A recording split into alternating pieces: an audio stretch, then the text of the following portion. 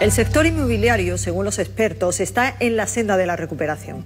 Después de sufrir la peor crisis de su historia, se está vendiendo y se está comprando más. Analizamos con OTGs, la asociación de profesionales que copa el 40% de la demanda del país, el comportamiento de este sector.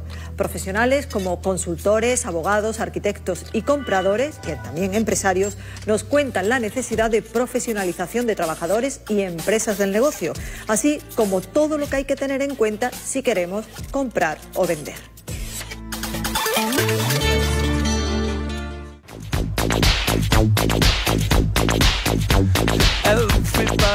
Se vende, compro, se alquila.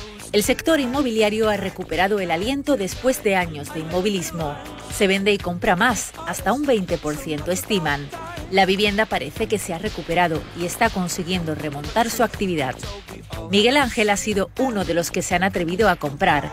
Estas fotos son el antes de la restauración. Ahora nos enseña satisfecho el resultado. Independientemente de que yo soy abogado y experto precisamente en derecho inmobiliario, que lo podía hacer yo por mí mismo, confiaba en que toda la gestión desde el principio hasta la firma de la escritura, ponerlo en manos de una inmobiliaria, que de hecho ahí están, aquí tengo los resultados que ya estoy viviendo en mi casa totalmente feliz y contento. Cada cliente que entra en mi oficina, cada cliente comprador, sé el dinero que tiene para gastar, sé perfectamente las necesidades que tiene, entonces cuando que me entra una vivienda es muy fácil que se venda muy rápidamente. Paramos la inmobiliaria, llamamos a los clientes y enseguida, en la segunda, tercera visita, la vivienda está vendida. Su récord está en dos horas después de que el propietario colgara el cartel de Se vende. ¿Cómo? Se preguntarán a través de la formación, especializarse en el sector. La encontramos precisamente en uno de los cursos que dirige a los consultores que trabajan para ella. Nosotros empezamos con una franquicia, una franquicia que no nos hacía realmente profesionales y decidimos cambiarnos a NoTGES. Cuando cambiamos a NoTGES, ahí encontramos la formación que necesitamos tanto en mi caso como gerente y como llevar un equipo, y en el caso de los consultores, de los consultores para saber lo que tienen que hacer para que el cliente no sufra ese estrés que sufre cuando va solo, sino que llega a notaría, se preocupe de firmar y de disfrutar ese momento. El sector de la intermediación inmobiliaria es un sector muy atomizado, ni siquiera de pymes, sino de micropyme, empresas con menos de 10 trabajadores. Claro, los recursos de una micropyme son los que son y dan para lo que dan. Pero cuando tú juntas los recursos de muchas micropymes, pues ya pueden empezar a hacer cosas que hasta hace muy poco tiempo solo estaban reservadas al mundo de las grandes empresas y multinacionales.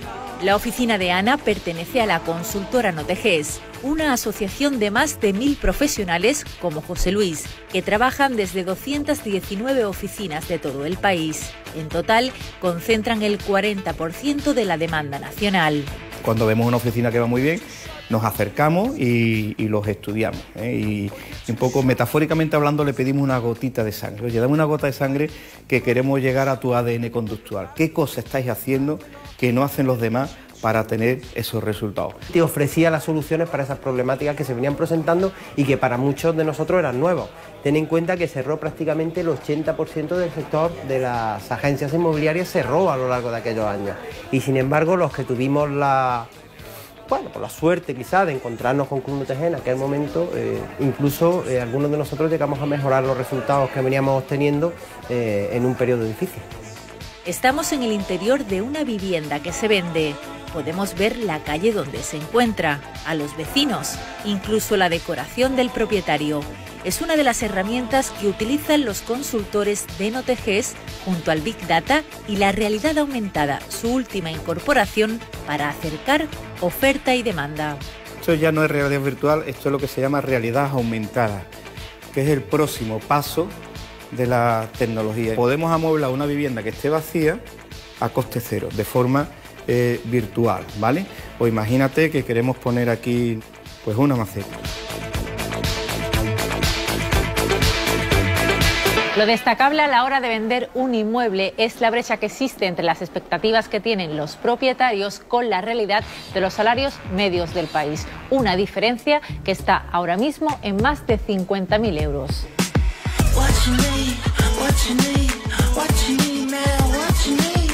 Es lo que se conoce como el precio de 90. Estas viviendas parece ser que sí se han ajustado a los bolsillos. Están todas vendidas. Francisco ha sido el arquitecto encargado de la rehabilitación del edificio. Muchos compañeros míos me decían, Paco, ¿por qué te dedicas a hacer licencia de apertura que te pagan 500 euros? Digo, porque yo soy arquitecto y tengo que hacer una tasación, una licencia y tengo que hacer todo. Yo tengo que hacerlo todo, porque para eso somos arquitectos.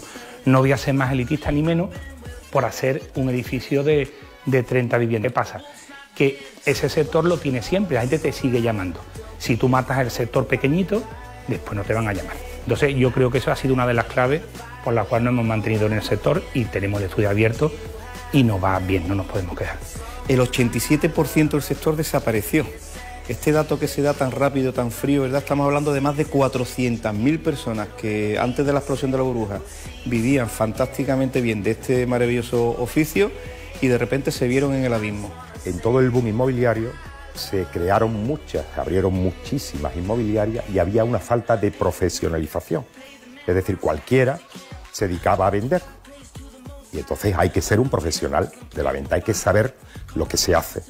El cambio de tendencia que ha experimentado el mercado de la vivienda se ve reflejado en las estadísticas que sirven para tomar el pulso al sector.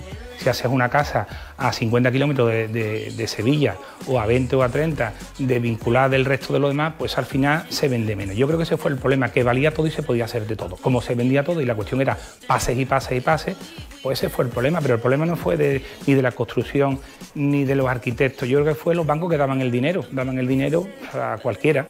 Tenemos apoyo en un tema legislativo eh, tenemos todos los apoyos que necesitamos y nos dan toda la formación que necesitamos saber para un negocio tan complicado como es el sector inmobiliario.